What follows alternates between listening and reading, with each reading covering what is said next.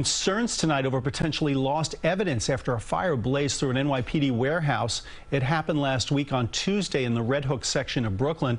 The NYPD says it will assess the damage caused by the fire following the FDNY Fire Marshal's investigation. Today we spoke to the Legal Aid Society, who says crucial evidence from past cases, even some that went cold, were housed in that warehouse. Our biggest concern is that it effectively destroys our ability to exonerate um, people who have been wrongfully convicted because without the physical evidence necessary to test for DNA, um, many people will not have their claims um, successfully litigated. They're asking the NYPD to give them a list of all the evidence stored in that facility and which ones were destroyed.